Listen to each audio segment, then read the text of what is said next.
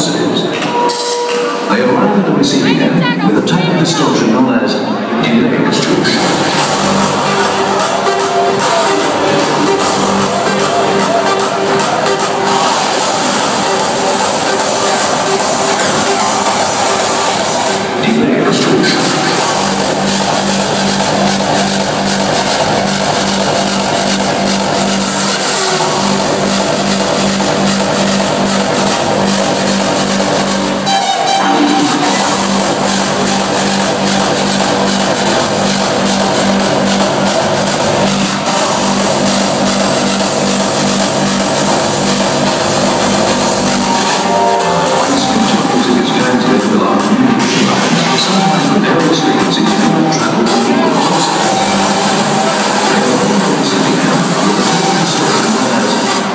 Christ.